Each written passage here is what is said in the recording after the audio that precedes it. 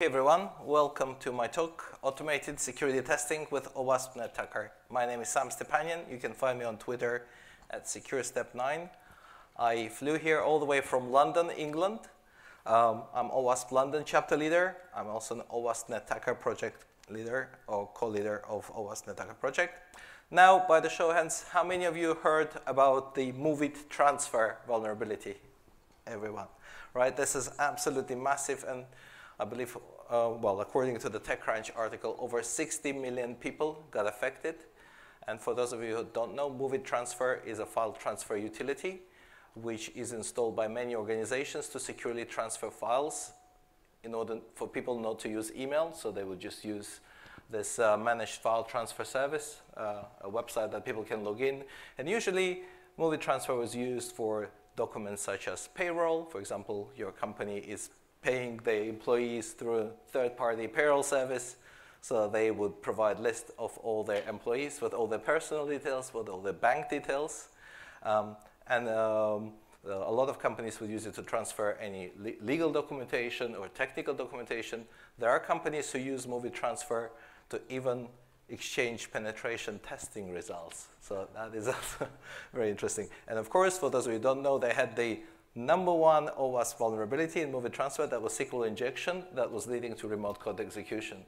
And the number of people affected is just mind-blowing. So if you have to deal with this vulnerability, you will appreciate this talk. And there was another very big vulnerability which is making headlines right now, this week and past week. There was a, a Citrix, uh, there were actually two Citrix vulnerability. There was a Citrix bleed vulnerability, which was uh, um, making uh, headlines last week, and also the uh, previous vulnerability, the remote code execution, which was um, published back in July. So that was another very big one. And both these vulnerabilities allowed attackers to break into the networks, which were protected by Citrix appliances, and there was a lot of big corporations who use Citrix as their VPN service. So this is very, very big. And now the problem is a lot of big companies, they would use Citrix uh, VPN devices all over the world. They would use some in Singapore, some in the United States, some in Europe, uh, because obviously they want to keep them local. And the problem is now everyone needs to fix it. And the question is, how do they know how many of these vulnerable devices or vulnerable services they have and where are they? So that is a very big question. And of course, so those of you who had to deal with log4j, right, you probably had the same problems, like where do I have log4j? So you're going to appreciate this talk because uh, I'll show you how OWASP has a project which can help you to address this challenge. So very quickly, so again, my name is Sam Stepanyan. I'm SecureStep9 on Twitter. I'm an ex-developer myself, so, and I've been leading OWASP London chapter since 2015. Um, I moved to application security space in 2005, and I'm an independent application security consultant and architect. I work in the financial services organizations in the city of London. So I am a defender. So why am I presenting a talk about consists of words network and attacker if I'm an application defender, right? um, so there's a reason for that because um, I first tried Nettacker in 2017. I have a bit of a story. I saw it appearing on a list of OWASP projects, and I'm like, okay, let me try this thing. So I tried to run it. It displayed a whole list of things like vulnerabilities, and I was like, I don't really understand what it is. I don't know how to use it, so I tried to running it by double-clicking on it or just launching it. Um, and because the list of options was so big, I didn't bother reading it, so I forgot about it for a year. But little did I know, in 2018, I had to um, work with Nettacker again because out of the blue, um, myself and Dr. Greg Fragkos, uh, OWASP London chapter co-leader at the time, we received an email from OWASP NetHacker project leaders and they're saying, hello people from OWASP London, you're in London, right? Uh, there is a Black Hat Europe conference in London um, and uh, we were supposed to come and present OWASP Nettacker in the Arsenal track of uh, Black Hat Europe in London, but because London is not an EU country anymore, we cannot do this because our visa is still stuck in the embassy, so we're not going to make it. Can you please go and present this project instead of us? And we're like, yes, we would like to help out, but we have no idea what this project is about. And I said, that's fine let's get on a Zoom call. And they demoed the project to us. And Dr. Greg Fragkos and I was like, oh my God, this is like the best thing since sliced bread. We're so demoing it. So we said, okay, let's go to Black Hat and demo it. And then this happened. Look how many people are watching the demo. Right? It was just unbelievable. Everybody loved the tool. So we said, okay, that's great. So I became a co-leader of the project as well. We started making some changes. And then we said, okay, let's present it the year after in 2019. And then even bigger crowds gathered watching the demo. And I'm not sure if, uh, also there's lots of vendors out there today, but I don't think anyone has a crowd like that watching the demo. So that was really impressive. So why is everyone watching the demo? Uh, there's another interesting fact about Nettacker that you probably don't know. OWASP Nettacker is currently the top sixth project of OWASP on GitHub. So if you go to the um, uh, OWASP organization on GitHub, number one is cheat sheet series, number two is uh, mobile SDG, number three is uh, WSTG, number four is Go secure coding practices, number five is OWASP top 10, interestingly, and number six is NetHacker, and you know nothing about this. It's the top six most start OWASP repo on GitHub. So what is it and why people love it? And I hope you will love it as well. It is actually an open source project, just like all OWASP projects. And the idea of it was that it is a framework to assist with penetration testing and information gathering and vulnerability scanning tasks. And the whole idea was built to be automated. And because it's written in Python, you can run it on anything. You can run it on Windows, on Linux, on Mac OS. I even managed to run it on Raspberry Pi, and it worked perfectly. So you can run it absolutely anything, this little scanner. Another uh, quick disclaimer to say that it was actually developed by students who participated in Google Summer of Code initiatives. And if you don't know what Google Summer of Code initiative is, it is a program run by Google every summer, and the idea is that students can get to work on open source project of their choice during their summer break and get paid by Google. So lots of open source organizations participate, and that includes OWASP as well. So if there are any students in the audience or you know of a student, right, please tell them because every March they start accepting applications and students can work on anything. You can work on OWASP Top 10, you can work on JuiceShop, but you can also work on Nettacker. So um, is a bit of a Swiss army knife kind of tool. So it's a tool consisting of many tools, not necessarily compatible with each other, but can they all be used together? Can you pull multiple blades from your Swiss army knife? That's the beauty of Nettacker. So just like Swiss army knife, it, uh, it's a collection of tools um, bundled in modules. It is very easy to create your own modules because they are not in programming language, they're written in YAML, which is making it quite easy to define uh, uh, the modules. It is fast performance, so uh, fast performing tool because it's using Python's multi-threading, and it is actually not as well, I'll mention it later when I compare it with Nmap on the performance. It's actually very gentle to your networks. It has customizable profiles, which are basically bundles of modules that you can focus on a specific task. There are some pre-built profiles, but you can create your own modules and say, okay, I'm doing, doing this penetration test. This is my own profile, which is very handy. But of course, the most important thing about Nettacker is that you can automate it and run it from the command line, from a uh, cron job, schedule cron job, or you can use GitHub Action or your favorite pipeline tool. I will later show you how I run it in GitHub um, uh, pipeline. So why OWASP Nettacker? It is not an officially released project yet, so we are not in version 1, we're version 032, which is released today, by the way, latest version. We're always looking for more contributors. If you know Python programming language and you are into penetration testing, automated recon, or bug bounty, please do help us build this project. What is cool about this tool is that it has both command line interface, it has a web UI, it has an API, and it, unlike other tools, it has a built-in database. So it keeps the results of all the scans inside, which is very useful. Uh, it has a report generator. It also uses Maltego transforms. For people who know what Maltego is, it's an awesome uh, investigation tool built into Kali Linux. And currently it has over 80 modules. So for you to understand, this is the most frequently asked question. Say, okay, not another vulnerability scanner. What does it do and how does it compare to the things that we actually use? Okay, so if you look at the scanners such as Burp Suite or Zap, right? So what Burp Suite or Zap do, they scan one website for many web application vulnerabilities, whatever the scanner is able to find. So it will actually crawl just one website and try to find all the URLs, all the buttons, all the forms. So it's also known as a DAST, right? So it's a DAST scan. So it only scans one website, tries to find all vulnerabilities in one place. OWASP attacker is different.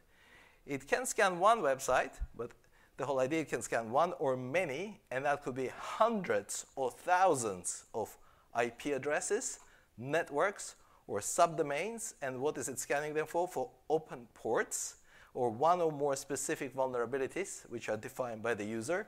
And of course, you can bundle them in modules. Say, okay, I want to pull multiple blades out of my Swiss Army knife and use them uh, together. And an added bonus, it has a brute forcing module, which, other, uh, which is a very, very cool thing. So where do you find Nettacker? It's under owasp.org slash Nettacker. That's the easy URL to go and find it and download and use it. It is documented. Uh, documentation can be found under the wiki button in GitHub. There are installation instructions here. Um, so you just need to go to wiki and click on the installation instruction over there on the right. I'm not going to go over how to install it. It's a Python-based uh, application. But for those of you who want to use it from Kali Linux, I use it from Kali Linux. I recorded a little YouTube video that you can use and to understand how to install Nettacker in Kali Linux. So that's there. Also, of course, Nettacker also comes as a Docker container. And you can download the container image from official OWASP Docker Hub. So if you go to dockerhub.com slash OWASP slash you can download it. You see almost uh, 3,500 uh, organizations already downloaded and using it. And there's one more place where you can find Nettacker. It, it is actually included in BlackArch Linux penetration testing distribution. So those of you who are in pen testing, there's a BlackArch Linux um, uh, distribution, and uh, OWASP is bundled in there. So remember when I first launched Nettacker and couldn't understand what it does, right? So it's actually quite simple, and this is what it is. It has three types of modules. Module of a type scan, so it can scan for something. For example, it can scan for ports, right? Open ports. So it's a port scanner, or it can scan, for example, for all versions of WordPress on your network. It can do that as well. It also has modules of type vuln or vulnerability scanning modules. So these are modules specifically looking for a vulnerability. And it has a module of type brute or brute forcing module. For example, SSH brute forcing, which will perform brute forcing over SSH protocol. Now there are lots of lots of scan modules and vulnerability modules. I'm not going to go over them, but I will just cover some of them so you have idea what it can do. For example, an admin scan module can scan your network and find any applications which have exposed administrative consoles, which is very important, right? Because a lot of people leave them out there uh, unprotected. It can also scan for all the uh, di directories. So it can perform directory uh, brute forcing, right? So something like people familiar with something like Dirbuster or GoBuster. It can detect all content management systems which are running on your network. It can also perform subdomain scan, and subdomain scan is another very important module that we have. So, uh, and of course, there's a port scan, there's a P PMA scan, stands for phpMyAdmin. phpMyAdmin is a very popular tool for administering MySQL uh, uh, databases. And again, there are a lot of people are leaving it on the websites, and they forget to configure the password, so they leave the default configuration. And yeah, can help you find all the instances of it. Um, there are lots of vulnerability scanning modules, so I'm not going to go over them, but uh, the list is constantly growing and we need more contributions. If you can provide your own module, it would be great. I started my talk uh, with MOVEit transfer and um, Citrix vulnerabilities. These modules are available. Um, and of course, we have brute forcing modules. So what makes an attacker different from all other scanners because it can do brute force. So you can brute force over FTP, HTTP basic auth, HTTP form. HTTP form is your usual form on a web page. Log in with your username and password, click submit, right? That's HTTP form. It can brute force that. It can use NTLM. It can use SMTP, SSH, Telnet. There's still a lot of devices out there using Telnet. And it can also use WordPress XML RPC, so it can brute force its way into WordPress installations. Now, why is brute forcing important? Because when Nettacker was originally created, it was called IoT scan. So it was supposed to scan your network for Internet of Things devices, scan IoT devices for any open ports, and then try to brute force scan for default credentials, such as admin, admin. And I actually used it in one of the financial services organizations in London because it was a large bank and they had lots of cameras inside the building. And they said, okay, we have lots of cameras, but we know some of them we forgot to change the default password. But we don't know which ones. I said, okay, let me run Nettacker. What's the IP range? They gave it to me and said, okay, these are all the cameras which are accessible as admin admin. So that's the use case straight away. So of course, because we're talking about uh, Nettacker, it is an offensive security tool, so you have to remember that it's very easy to abuse it intentionally or accidentally. Please do not use it to scan websites or to scan networks for which you do not have a permission, because do not you, you of course, legal disclaimer, you need a permission before you scan anything for vulnerabilities. Now, um, I'm going to talk about very quickly about Nettacker port scanner module because uh, of course, a lot of people know about Nmap. Do you know what Nmap? Anyone uses Nmap? Great. So I use the Nmap as well, but people have kind of love and hate relationship with Nmap, and the reason is that it's quite a clunky tool, really, because you have to remember a lot of options, and it is really heavy on your network. And I remember there were some of the network switches manufactured in the Far East, which couldn't withstand the, uh, no, the Nmap scans, and basically no one could do anything when someone was running an Nmap scan. So uh, Nettacker has a built-in port scanner, which is very easy to use. You just say port scan, and you can define the, uh, what you want to scan, and you can limit it, which is very good, to specific ports. So for example, if you add dash G parameter and say I only want to scan ports 80 and 443, it will do it for you. By default, it will use the same thousand ports as Nmap. So uh, that's quite easy. So how do you run Nettacker, right? So this was my dilemma when I started working with Nettacker. It's like, okay, how do I use this thing? So the thing is Nettacker needs two parameters. Parameter number one is the target. So you have to provide it on the command line. dash i, what do you want to scan? And dash m, you have to define the module. What do you, which module do you want to scan it with? So if you want to scan just one IP address, let's say 192.168.1.149, okay, that will do a port scan of just one IP address. But you can scan the whole network, and this is what's great about it. You can just define the range. And this is what's great about Nettacker. It attacks networks, that's in the name. So it can scan a single IP address. It can scan a range of IP addresses if you give it the start IP and the end IP. It can also scan the network using the CIDR notation. So you can just say slash 24, it will scan your slash 24 network or slash 16 network, whatever. It can also scan a all subdomains of a defined domain, for example, OWASP.org, and I will use OWASP.org in a demo because I'm allowed to scan it because it has a bug bounty policy. And Casey Ellis, the head of the Bugcrowd, was here in the previous talk. So uh, we allow security researchers to perform scans on OWASP.org. And you can also give it a URL, and URL can be an HTTP or an HTTPS, HTTPS format. So you can see it's a quite an unusual scanner. It takes variety of inputs. But that's not it, because obviously you can also give it a file with all the targets. Because if you're a large organization, you will own several domain names, you will have lots of networks, right? And there will be lots of ranges. And yeah, how do you scan them all in one go, right? You just create a text file, you will put everything in your organization in that file. So, for example, we own OWASP.org, we own OWASP.com, and this is the IP address range. You put it in a text file, load it from the text file, scans everything. So that is the beauty of it. And then remember when I was talking about the Swiss Army knife analogy, you can actually chain the modules. So you can use multiple modules. You can just use a comma and say, okay, I want to do a port scan. I want to do a uh, phpMyAdmin scan. I want to do an HTTP status scan. And I want to uh, check for the uh, struts vulnerability all in one go. And you can do that. And this is what's great about it.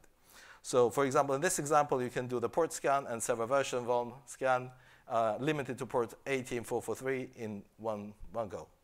And this is kind of the hidden gem of Nettacker because it allows you to run any module on subdomains, which is great. So for example, owasp.com or owasp.org says, go and find all the subdomains and scan it with predefined module. You can perform a port scan, you can perform a vulnerability scan, you can perform an, an HTTP status scan, you can do whatever you want on all the subdomains. Of course, the subdomain um, uh, recon is not as good as another project, OWASP Amass, and you can actually use it with OWASP Amass. So you can first get discover all the subdomains with Amass and then feed them into Nettacker, but there's a built-in service which finds subdomains and it is customizable as well. So you can basically create your own source of subdomains. And of course it has profiles, so you can actually bundle it and say, okay, not only I want to scan a specific list of targets, this is a predefined list of uh, scans and vulnerabilities that I want to find in uh, my network.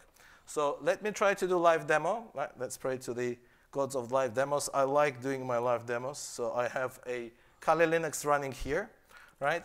And this is, first of all, I will try to run Nettacker with absolutely nothing. And you can see it starts, it starts loading the modules, and then it will start spitting out all its usage instructions. So there's lots of lots of text here, right? This is what got me uh, really you know, puzzled. It's like, how do I use this thing? But let me show you how we can scan owasp.org and perform a port scan just on owasp.org. So I just define dash m port scan and say, okay, do the port scan only on ports 80 and 443, right?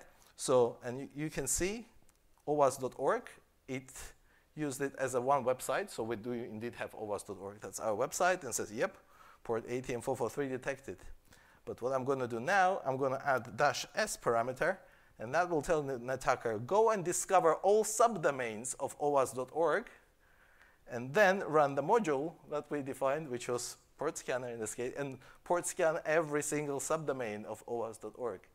So you can see the value. You can see it's already doing this. You can see it's doing the uh, discovery first, and then at the end, it gives us the results. There you go. This is all the subdomains of owasp.org, which have been port scanned for port 18443. So this is one of the great advantages of Nettacker. But let me show you something else. I will probably need to switch to another version of Nettacker here. You can also add more um, modules. Let me see if I can make the font here a little bit bigger in this window, it's a bit too small. Right, 18 should do it. Okay, right? In this window, I had several modules chained. So I have, I'm scanning owasp.org, scanning with server version vulnerability. So server version vulnerability is the server banner leakage vulnerability because a lot of web servers, when they send the response back to the browser, there's a header called server, and they leak what they are, right? I'm an IIS, I'm an Apache, I'm Nginx, right? And why is it bad? Because if the server version is leaked as well, that means the attacker can figure out, oh, you're running, I don't know, Apache version 221. It has like one zillion CVEs, which are all critical. I know how to attack you now, right? So it's a problem. Same thing with X powered by. So X powered by is a header which is injected by a lot of frameworks, for example, like PHP or .NET that says, hey, this website is running PHP version 5 or this website is running IIS version 7. It's like, okay, now we know how to exploit this thing because, you know, uh, it's uh, making the homework easy for attackers. So I'm going to try to live demo this. So scan owasp.org subdomains for server version vulnerability, X powered by vulnerability, and perform a port scan, and the port scan will include ports 22, 80, and 443 right? So you can see this is, I'm using previous version of Nettacker for a reason because it has a better version of graph generator, which I will show you in a minute. You can see this version has slightly less modules, but that's okay because we are working on bringing the same modules into the uh, uh, version 3 of Nettacker as well. So you can see what it's doing. So now it's found all the subdomains and it goes through every single subdomain of owasp.org and it's doing a port scan for three ports, 22, 80, and 443. It is checking if any of the targets, right, any of the subdomains discovered are leaking the server version in the response header and whether they're leaking the X powered by. So, and after this is finished, you will see, of course, it will show the, the results in the table. And you will see something else that I will show you, which is very interesting. You, you can see it's going through all of them. I think we only have a couple of them left. You can see the TCP connects happening for the port scans. You can see some of them saying, oh, there's a vulnerability server version disclosure in headers, right? And uh, I think we have videos, we have dev. Uh, there's another interesting subdomain. I need to ask Harold what that subdomain is still doing there. And we have uh, discourse, which I think is discontinued. Contact.owasp.org, very interesting. Okay, that's the main way to contact us. And the main one, there you go, it's done. So you can see it provided the results in the text table, but this is not what's good, okay? There's a good thing, of course, that there's a result, but it, it saved the result in a database, and it also it saved the result in this HTML file. You see here? So the result is sto stored in this HTML file and also in the database. So let me have a look at this HTML file. Because it's HTML, I have Firefox here in my Kali Linux. So I'm going to open it with Firefox. Oops. I have to spell Firefox. Not Firefox, sorry, Firefox. Right. Okay, and let's wait for a second. And here you see the amazing feature of OWASP attacker, so-called penetration testing graph. So you can see all the scans that we've done. These are all the subdomains. So it started the attack, and it basically started attacking all the subdomains. And we can see all the ver server version being leaked, and we can see all the port scans being performed here. And what is very interesting here, and this is why I want to show you this graph, you see there's something interesting here in the middle because all these have like two forks, and there's one here, port scanner has three forks. You see why? Because there's one subdomain here, right? Do you see this? There's one subdomain, dsomOWASP.org, which is the only subdomain of OWASP which has port 22 open. So visually, I can very quickly see where is the, where is the problem, right? There's one one service in our network which is uh, open on port 22. And of course, the same table is available. Okay, so that is there. And of course, the another cool thing, I will have to return back to my slides, is that I can also download the results in JSON format. So, so you've seen the graph, and also in CSV. And the cool thing about CSV is, what is CSV? CSV is a spreadsheet. So we have a tool which is a manager's dream, right? So how many of you wish that they had a tool which they can push a button and it scans their network and gives them an Excel spreadsheet. In that spreadsheet, they have a list of all their subdomains, all the open ports on every single server in the network, showing what is running on every single server. Uh, and it's in a spreadsheet which you can filter, you can search, and you can have it in your desktop. This is exactly what this tool allows you to do. And this is why it is so cool. So this is not, well, obviously one of the reasons why we're doing this, of course you understand, because it can also perform an inventory of your whole network. And why is asset inventory is important? I am bringing in this tweet from Jeremiah Grossman back from 2017.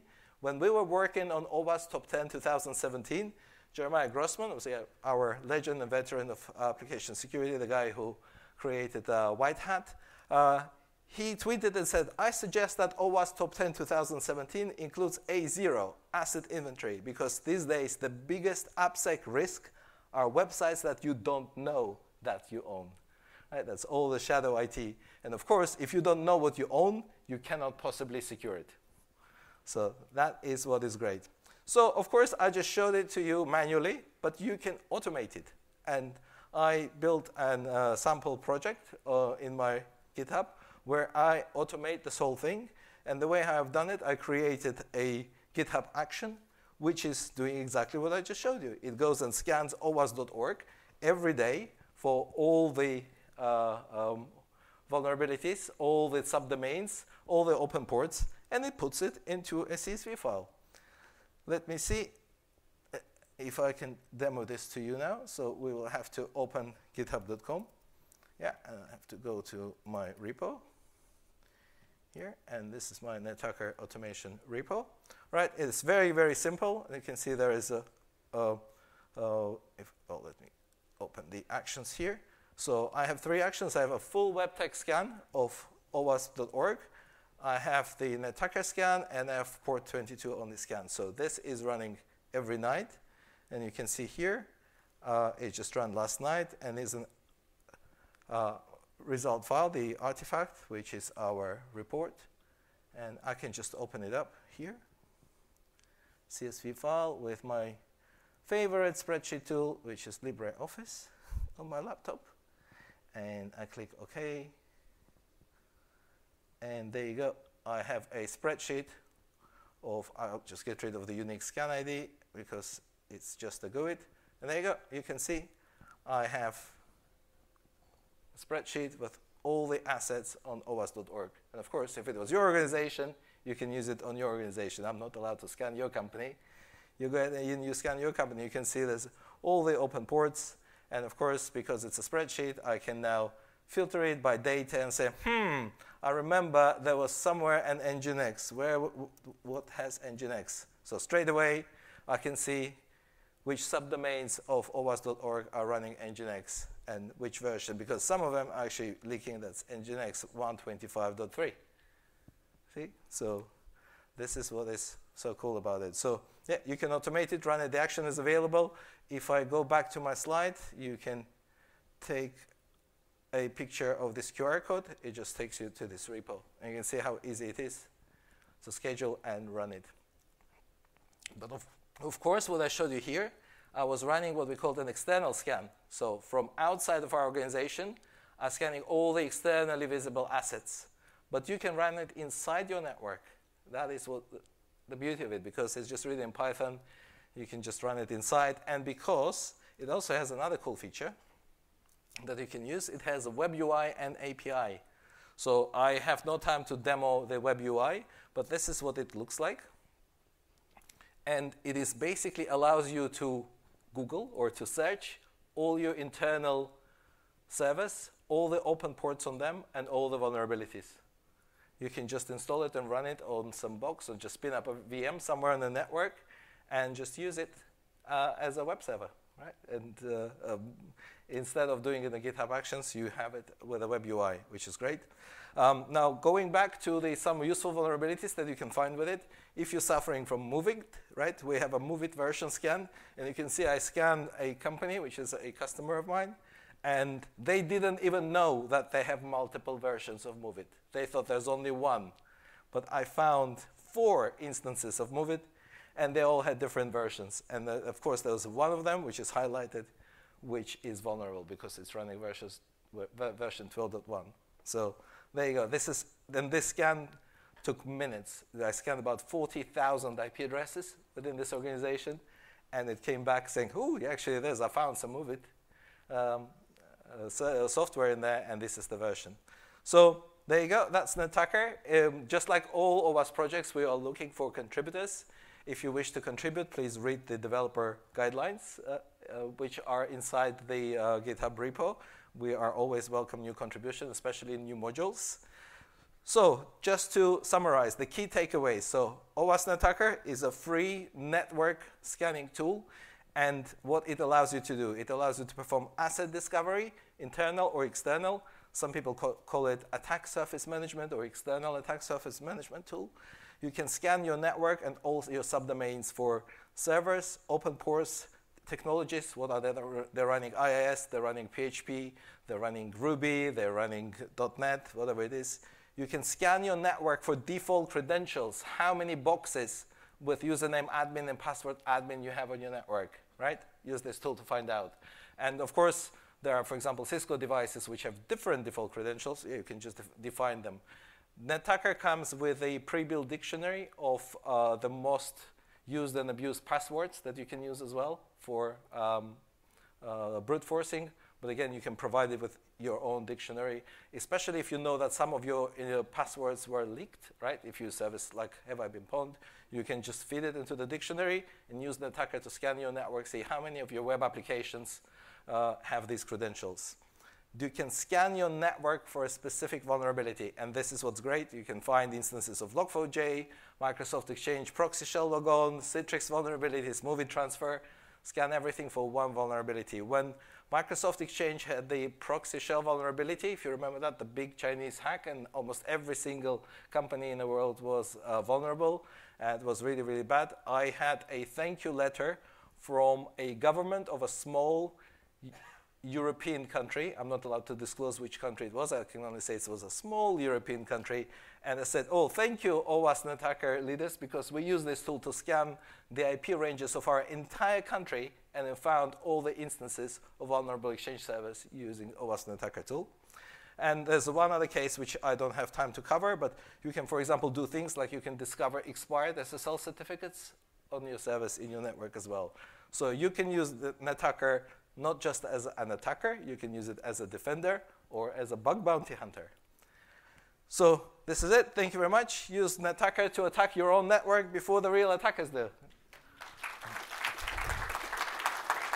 do we have time for questions? Time. Excellent. Right. Yeah, we've got uh, 10 minutes. Excellent. Uh, yeah. I'll give you the microphone. If you could pass it, that would be great. Is there a button to push at the bottom, probably at the side? Uh, you mentioned that it stores information in an internal database. Um, I'm guessing that's SQLite.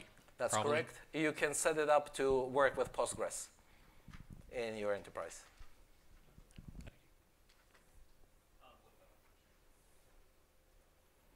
Do you have any um, plans to uh, integrate, or is there a module already that'll kind of give you WHOIS registration information, like who, you know, who's registered to that domain in case Um, you're trying to find domain squad? Yeah, so we have plans to do it. Yeah, we can do it as well. Yeah, same thing with the IP info to find out who the IP address belongs to. Yes, correct. Yeah, that, that's the, in there already. Uh, it's it's coming then. Uh, no, the IP based WHOIS is already there. Okay. The domain based is not there yet, but it's in the plans. Yeah. Okay, great. Thank you.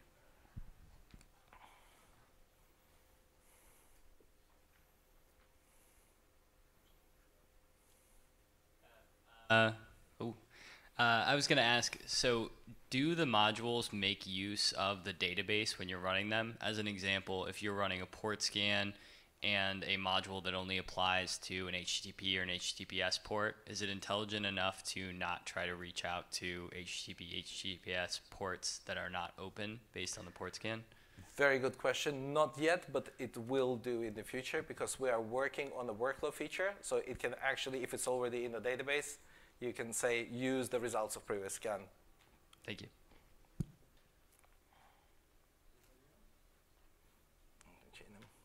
Oh, that's more questions. Uh, building on the previous question, it would be very cool to be able to just pipe the output, the output of Nettacker into another Nettacker, and then Exactly, but that's more. not what we. You know, because we you currently chain modules with a comma and say I use port scan, then I use the server version scan. So at the moment, the comma just says well, I'm going to launch all the modules and they all uh, run concurrently. But I want to add that the workflow feature where we say, okay, pause, wait for the results for the previous one, and then pipe it to the next one. So it's going to be more. Again, we had students working on this. Again, if you can help out and contribute, that would be awesome.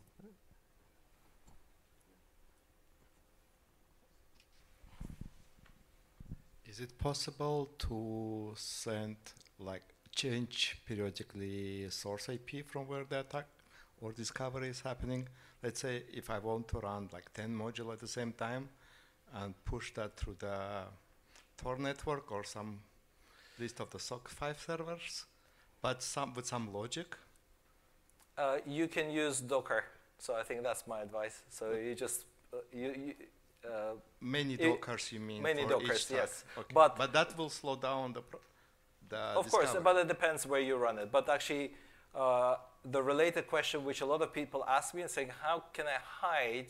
How can I detect that the attacker is scanning me? How it's possible to hide? Because the attacker will put user agent Nettacker in all the scans to help administrators to realize they're being scanned, right? But there, we have a module which basically turns into a random user agent, so which makes it very difficult to detect. yes, but the idea is that uh, if you uh, will it calculate or get the consider the rate limit that's set up on the target service, not to abuse it, and if you're going through the different sources. Great question. Yes, great. So uh, there is no rate limit at the moment implemented, but it is in the works, right? There is currently uh, the rate limit feature which is being worked on by someone, yeah, one of the contributors. Thank you. Oh, more, more questions. Thank you.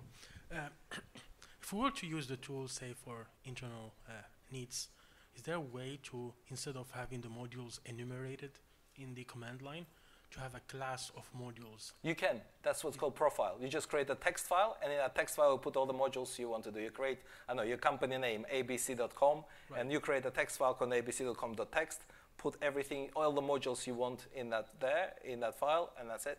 And then just say, It's scan already abc.com. implemented. It's there. Yeah, Yeah, it's thank done. you.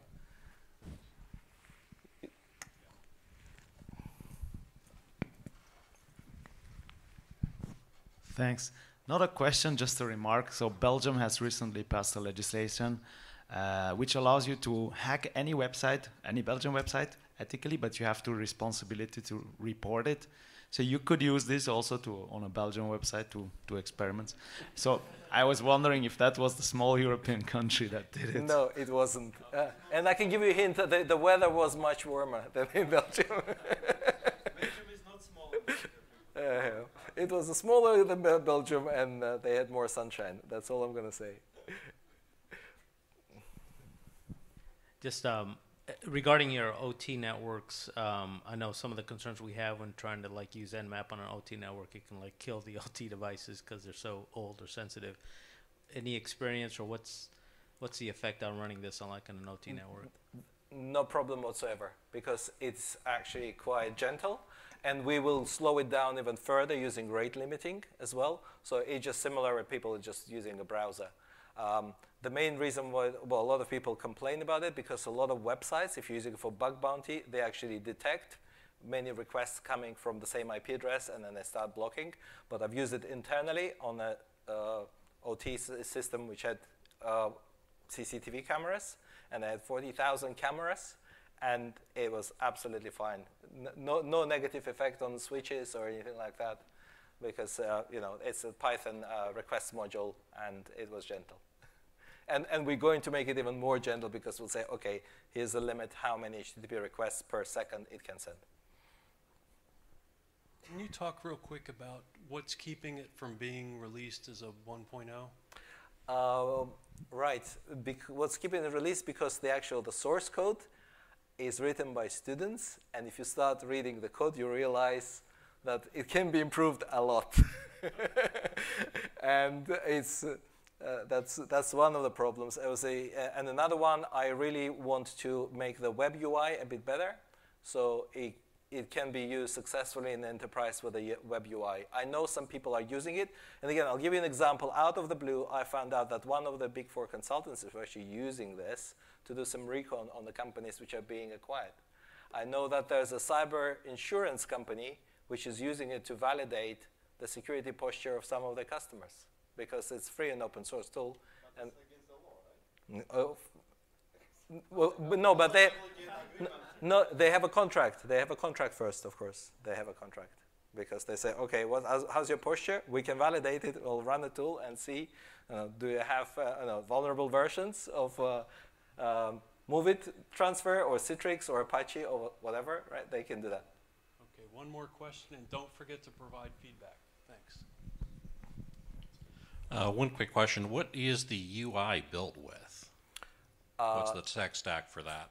Uh, that's just Flask and uh, HTML and a little bit of JavaScript. So it's very rudimentary, and we want to improve it. We want to look it really nice and sleek, and then we can release it as version one, and then I can proudly say that OWASP has its own fully featured vulnerability scanner. And this is a, for those of you who attended uh, Brooks' keynote on day one. Remember, I said, okay, if you are a large enterprise and you can spend millions, right? There are tools for you in the commercial world, but this is for people who cannot afford it, or for smaller, uh, you know, startups. Say, well, how do we scan our network? How do we find out if we have any vulnerability? Yeah, that's free and open source, but everyone uses it. Big enterprises use it, and small companies use it as well. Yeah, and pen testing companies use it as well. I see it. Pen test teams, red teams use it as well. Yes. Thank you very much.